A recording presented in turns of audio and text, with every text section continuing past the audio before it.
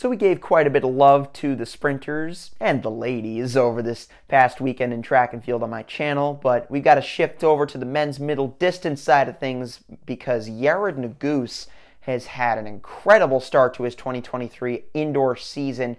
And before we get into the goose, I just got to say to you guys, thank you so much for the support on my channel in these recent videos in these recent weeks. It's meant a lot to me, and it's almost been a newfound sense of motivation to create content on this platform that it's so easy to get distracted from. So, thank you guys, and let's get on with the video.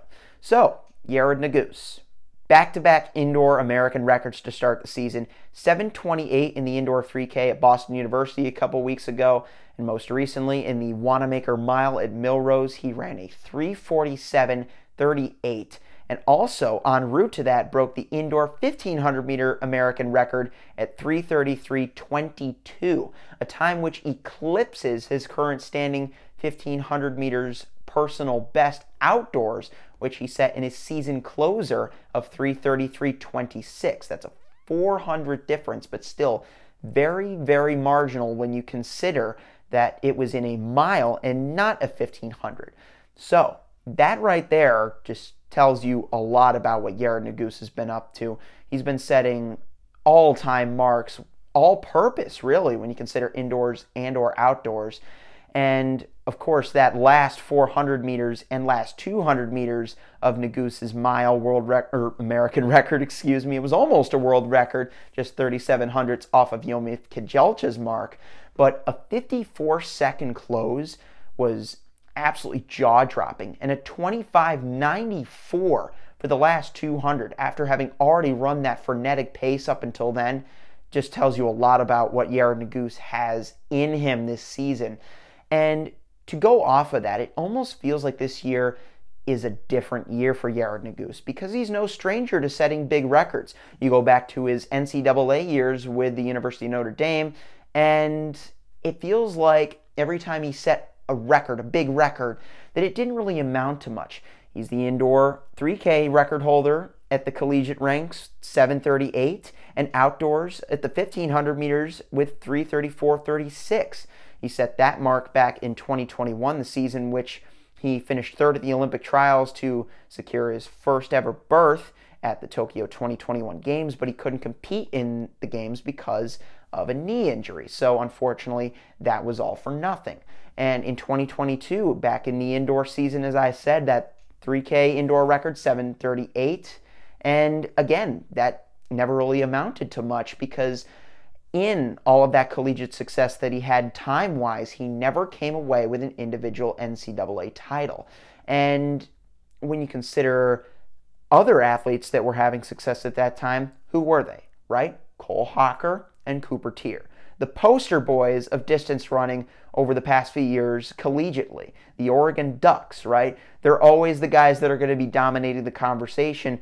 And rightfully so, because they brought it when the big meets mattered. Cole Hocker at the 1500 meters in the 2021 NCAA championships outkicked Nuguse to win that title. Though he did not run a faster time than Nuguse had on the season, he brought it when it mattered. And he also brought it in that Olympic trials run, which sent my jaw through the earth's core with that kick. And you consider the kick, too. I mentioned how Nuguse had such a fast close to that Wanamaker mile. We typically think of fast closes and associate them with guys like Cole Hocker.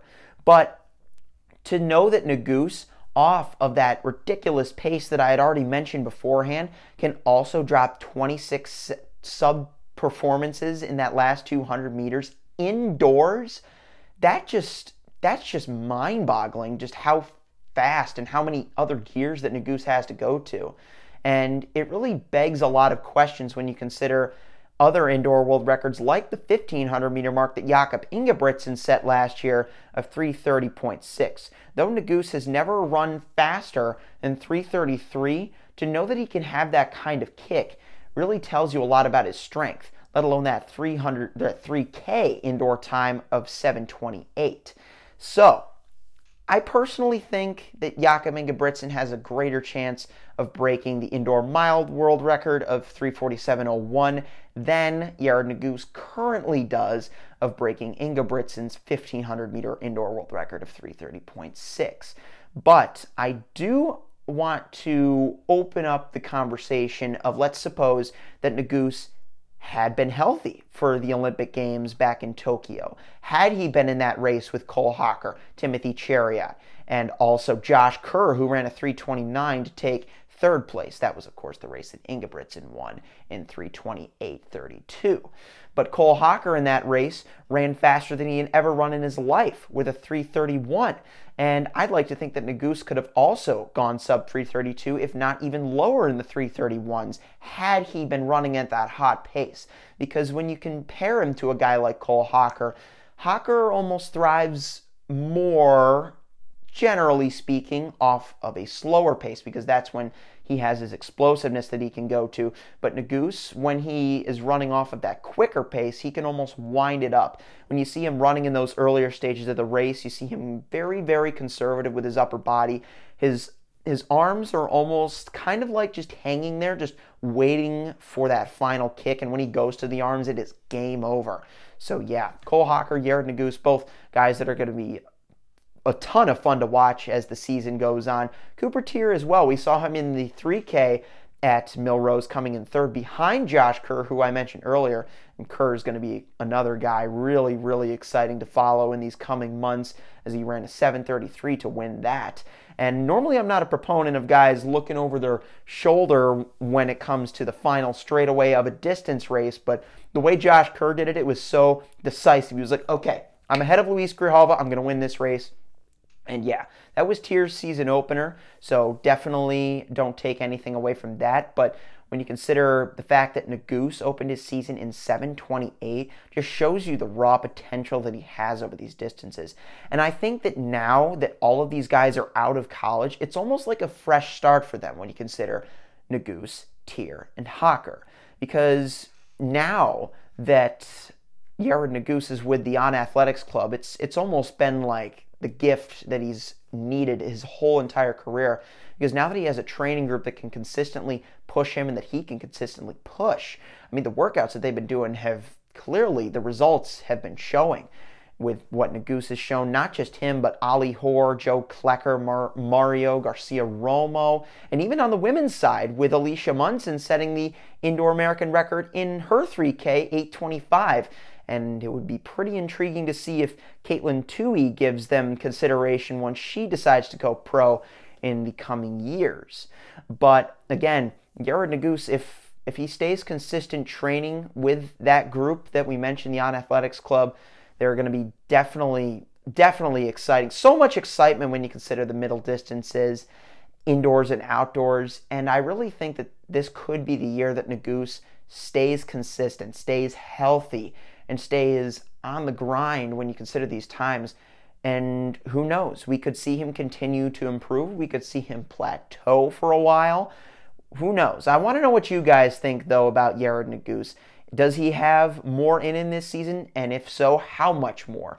I know FloTrack podcast, get Kevin and Gordon, they were exploring this question as well. What is Yared Nuguse's ceiling? I'm going to go ahead and give my thoughts on that right now. I think that he can, this season, I think he can run, I want to say below 330.5 in the 1500 meters. And if he goes for the 3K again, I'd like to say that he can go sub 728. And if he goes for it outdoors, perhaps maybe a 726. So those are just some some throwaway times there. We've yet to see what he can do in the 5K. I know Woody Kincaid's going to be exciting to watch in that as well. But yeah, a whole lot of interesting developments on the middle distance front, and we've yet to even see Jakob Ingebrigtsen race. So, with that being said, I hope you guys enjoyed, and if I missed anything, don't don't hesitate to let me know below. Subscribe if you enjoyed and would like to see more, and if you would like to see more, comment below what you'd like to see. With all that being said, I hope you guys have a great day and uh, happy Valentine's Day. I don't exactly have a Valentine's Day track pun for you guys, so you best uh, you you'd be better off just running along if you catch my drift. Eh? all right, guys, have a great day. Peace.